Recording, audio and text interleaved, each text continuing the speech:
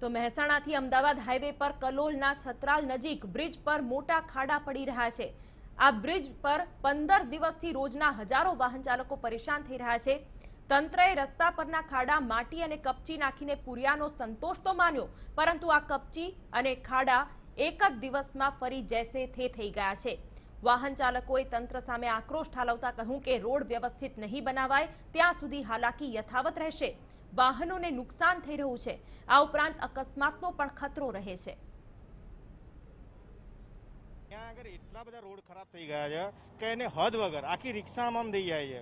અત્યારે બી અહીંયા જુઓ અત્યારે ખાલી ખાલી કાળા પૂરી રાખે છે આ લોકો.